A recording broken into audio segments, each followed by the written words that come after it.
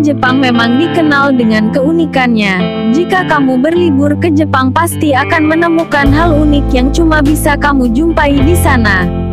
Salah satunya ada cerita unik dari University of Tokyo. Kampus ini tiap tahun mengadakan acara pemilihan pria tertampan di kampus dengan sebutan Mr. Todai. Acara ini bukan hanya dinanti-nanti oleh mahasiswa setempat, melainkan juga hampir seluruh warga Tokyo.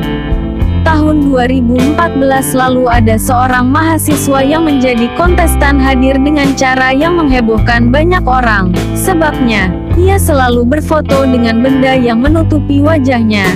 Entah itu pakai masker atau benda lain. So hasil foto yang ia kirimkan pada saat ajang pemilihan pun semuanya bergaya menutupi mulutnya. Panitia dan juri pun dibuat penasaran untuk mengetahui wajahnya sehingga muncul berbagai komentar dari teman kampusnya. Aku penasaran ada apa di balik maskernya, betah sekali dia memakai topeng seperti itu.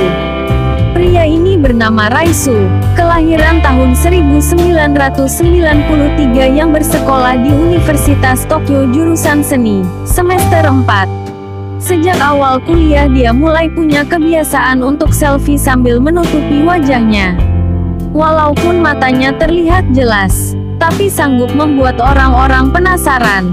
Tahun 2014 ia mengikuti ajang kontes Mr. Todai, sampai menuju babak final.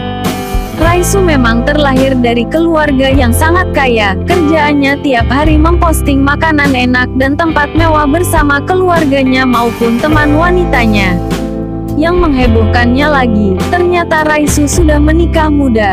Karena popularitas Raisu yang menghebohkan warga Tokyo, akhirnya sebuah acara televisi sengaja mengundang Ryasu untuk datang ke acaranya, dan menerima sebuah tantangan untuk datang tidak menggunakan masker sehingga semua penonton bisa mengetahui wajah asli yang sebenarnya.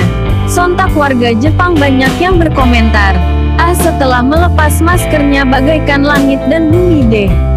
Sudah kukira kenapa selama ini dia tidak percaya diri kalau tidak memakai masker. Ternyata gitu alasannya. Setelah itu banyak beredar foto-foto lamanya ketika dia masih SMA.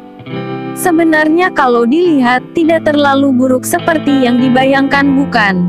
Dikutip dari Koko, dari kisah tersebut, kita bisa belajar sesuatu untuk tetap bersyukur dengan pemberian Tuhan. Kita harus tetap pede dengan keadaan diri kita sendiri.